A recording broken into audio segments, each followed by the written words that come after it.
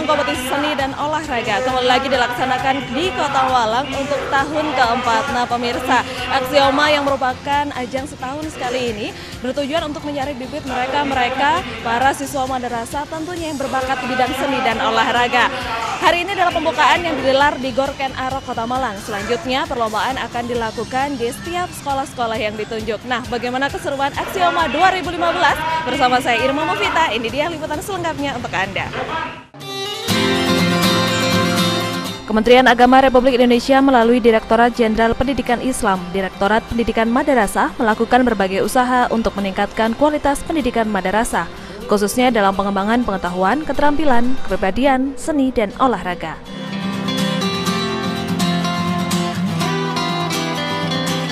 Ajang kompetisi seni dan olahraga madarasah atau yang lebih dikenal dengan Aksioma merupakan salah satu kegiatan yang digagas untuk memberikan perhatian pada kekuatan jiwa, otot, dan seni siswa madrasah dalam mengembangkan kreativitas dan prestasi serta mutu madrasah.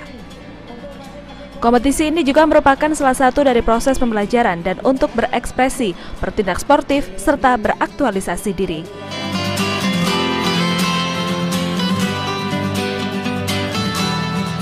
Kompetisi atau lomba ini akan memberikan kesempatan dan peluang yang sama kepada semua siswa madrasah untuk berkompetisi pada berbagai bidang, terutama bidang seni dan olahraga.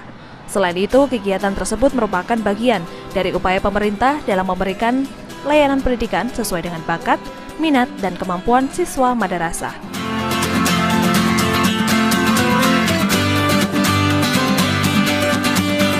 Dan untuk mengirim atletnya pada Aksioma Nasional mendatang, Kementerian Agama Kota Malang mengadakan pembukaan Aksioma 2015 yang dilaksanakan secara meriah di Gorken Arok, Kota Malang.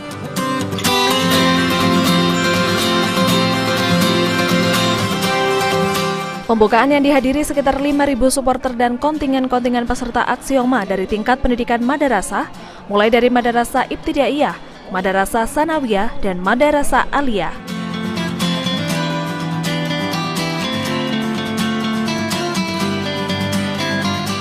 Pemirsa, saat ini telah bersama saya ada Bapak Sutiaji tadi sudah membuka acara Aksioma, Pak. Menurut Bapak sendiri ini tahun keempat Aksioma ada di Kota Malang. Gimana pendapatnya, Pak? Ya, saya belum mengikuti tahun 1, 2, dan 3. Tapi saya lihat kreasinya bermacam-macam ragam ya, dari mulai tingkat MI sampai Alia dan cukup luar biasa antusias dari madrasah. Jadi saya kira luar biasa uh, perkembangannya walaupun saya tidak mengikuti mulai tahun yang satu sampai ketiga tapi saya lihat hari ini adalah luar biasa ya. Pak ini adalah ajang kompetensi untuk seni dan juga olahraga yang nantinya akan mewakili uh, bibit-bibit ini akan mewakili Kota Malang ke Jawa Timur. Harapan Bapak seperti apa? Ya, sebagaimana yang saya sampaikan tadi bahwa kalau dulu yang mewakili itu baru Alia eh, Man 3 dari Alia, harapan kami mungkin untuk mewakili provinsi ini ya harus harus bertambah gitu uh, eh, MTS maupun MI harus uh, berkiprah yang lebih karena ini juga menentukan jati diri Kota Malang bahwa madrasah Kota Malang juga bisa berbicara di kancah regional dan mudah-mudahan sampai nasional. Oke, baik. Terima kasih Pak Yaji atas waktunya dan pemirsa telah diwawancara saya bersama dengan Wakil Wali Kota Malang. Dalam kesempatan kali dengan tema mewujudkan prestasi peserta didik dan menjunjung tinggi sportivitas dan silaturahmi, Aksioma Kota Malang 2015 digelar.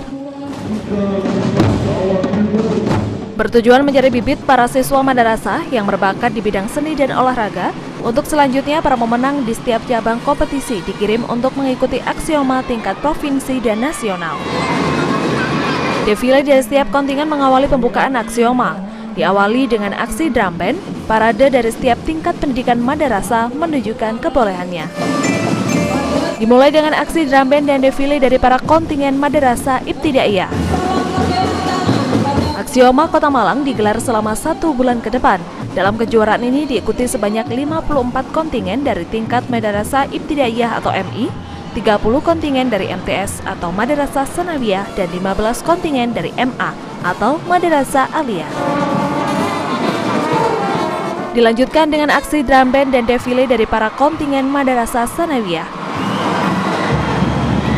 Ajang kompetisi yang akan dilombakan pun beragam, mulai bidang seni, antara lain kiroah, saritilawah, kaligrafi, nasid, pidato bahasa Arab, bahasa Mandarin, dan bahasa Inggris. Sedangkan pada bidang olahraga antara lain atletik, futsal, bulu tangkis, tenis meja, dan tolak peluru. Dan yang terakhir, aksi drum band dan defile dari para kontingen Madarasa Sanawiyah. Setelah berbaris rapi, acara pun dilanjutkan dengan upacara pembukaan. Seluruh peserta kompetisi, supporter yang terdiri dari siswa didik dan guru pengajar melaksanakan upacara dengan semangat dan tertib.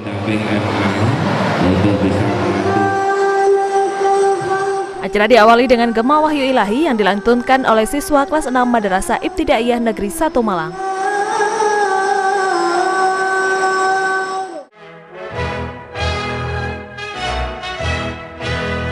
Selanjutnya menyanyikan lagu Indonesia Raya yang diikuti oleh seluruh peserta upacara.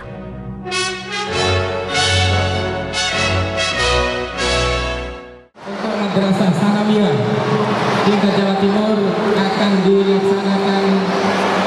Yang pertama untuk MI insya akan dilaksanakan di Kabupaten Gresik sekitar bulan Mei tahun 2015. Sedangkan untuk aksioma di tingkat MTS tingkat Jawa Timur insya Allah akan dilaksanakan bulan Februari tahun 2015 insya Allah bertempat di kota wisata Batu. Sedangkan untuk madrasah aliyah insya Allah akan dilaksanakan di Kabupaten Lamongan insya Allah pada bulan Juni tahun 2015. Haji, haji, satu, sanggup mematuhi ketentuan dan diatur oleh wasit dan juri. Kemudian yang masuk dalam agenda upacara pembukaan aksioma adalah pembacaan janji atlet, wasit, dan juri aksioma.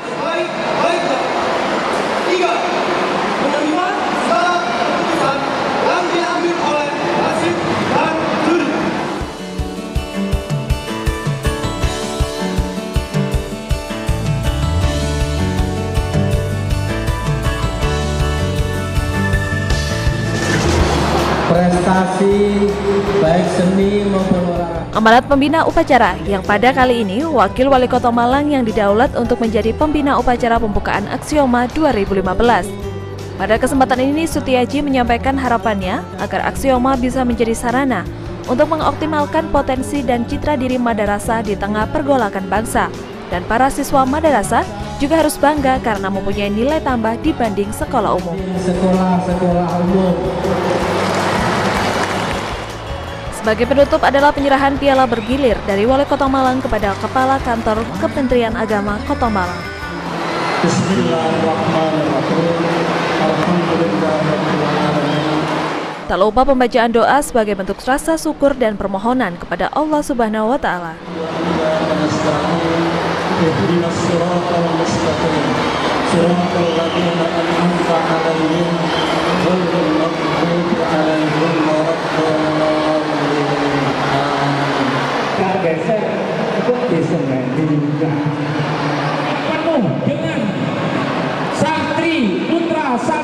Terima kasih dari saya dari Kementerian Agama ingin menyampaikan kepada pemirsa JTV bahwa aksioma yang keempat itu dilaksanakan dalam rangka yang pertama di samping untuk mencari atlet-atlet yang berprestasi baik itu di bidang olahraga maupun seni. Yang kedua tujuannya dalam rangka untuk menghadapi aksioma yang keempat tingkat provinsi Jawa Timur yang insya Allah untuk MTS akan dilaksanakan bulan Februari ini di kota wisata Batu. Sedangkan untuk nasional nanti akan dilaksanakan di Palembang, insya Allah sekitar bulan Juli. Insya Allah kami sudah mempersiapkan yang pertama untuk pelaksanaan yang akan dimulai besok untuk atlet yang insya Allah akan diletakkan di lapangan UM, ya. Ya, berikutnya nanti akan diikuti untuk lomba di tingkat MI dan di tingkat Alia. Nanti setelah selesai pelaksanaan ini untuk juara-juara kami bina dalam rangka untuk menghadapi tingkat provinsi maupun di tingkat nasional. Harapan saya mudah-mudahan kontingen dari Kota Malang nanti menjadi juara baik di tingkat Jawa Timur maupun di tingkat nasional. Sehingga seperti halnya kemarin KSN yang dilaksanakan di Makassar, alhamdulillah Jawa Timur jadi juara umum dari 10 siswa yang diraih itu, yang meraih itu. Di antara 10 itu 5 dari Kota Malang, yaitu dari Mantiga. Mudah-mudahan aksioma nanti bisa melanjutkan juara KSN yang kemarin itu. Kalau untuk keseluruhan yang mewakili kontingen hari ini ada 2000 kontingen, 2000 peserta. Tentunya nanti di dalam pelaksanaan sesuai dengan jenjang masing-masing. MI itu berbeda dengan MTS, berbeda dengan MA. Tapi secara umum kegiatan lomba dan pertandingan yang diselenggarakan di tingkat MI, MTS, dan MA hampir sama. Kalau MI itu ada 12 jenis lomba, 7, 7 seni, eh, 5 seni, dan 7 olahraga. Kalau untuk yang MTS itu ada 17 mata lomba, 7 seni, 10 olahraga. MA juga sama, 17 mata lomba, 7 seni, 10 olahraga. Ini nanti secara khusus masing-masing jenjang akan melaksanakan dalam waktu yang berbeda. Kalau yang tahun-tahun sebelumnya memang kita merata Mbak ya, merata. Dari seni, dari olahraga semuanya merata. Insya Allah kita akan memprioritaskan di semua lini gitu ya, semua lini. Atletik, insya Allah kita punya banyak potensi tahun-tahun sebelumnya, demikian juga seni. Jadi insya Allah kita optimis lah ke depan. Untuk di tingkat masing-masing ya, gambaran umum untuk untuk seni itu pidato bahasa Indonesia, yang kedua pidato bahasa Inggris, yang ketiga pidato bahasa Arab, ada nasid, ada kaligrafi, ada kosida modern. Ya ini seni ada ada tujuh jenis itu. Terus kalau olahraga secara umum atletik, atletik lari 100 meter, 400 meter, 5000 meter, lompat jauh, terus ada tenis meja, catur, bulu tangkis, voli dan futsal.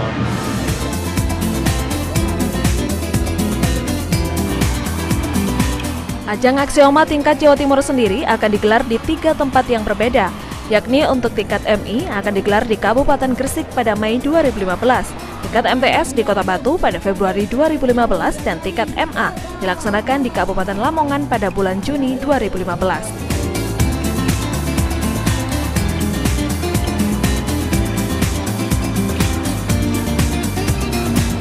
Usai upacara pembukaan, atraksi dari para kontingen Aksioma menunjuk kebolehan untuk menghibur semua hadirin.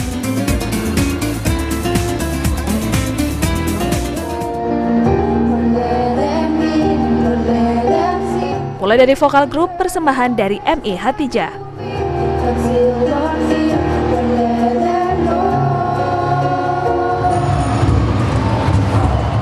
Kesenian bela diri karate dari MI Sunan Gunung Jati.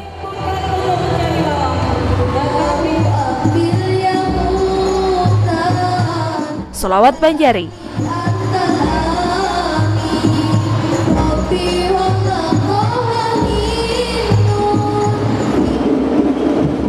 Atraksi Jimbe persembahan MTSN Malang 1. Dan tari modern dari Mantiga Malang. Serta drum band persembahan istimewa dari Min 1 Malang. Ya pemirsa ini tadi berakhir sudah dari pembukaan Aksioma, ajang kompetisi seni dan juga olahraga madrasah. Semoga ke depannya Aksioma bisa berjalan lancar dan juga sukses di tahun 2015 ini sehingga memunculkan bibit-bibit baru yang bisa membawa harum nama Kota Malang. Mewakili kerabat kerja bertugas, saya Ilmu Kita, sampai jumpa.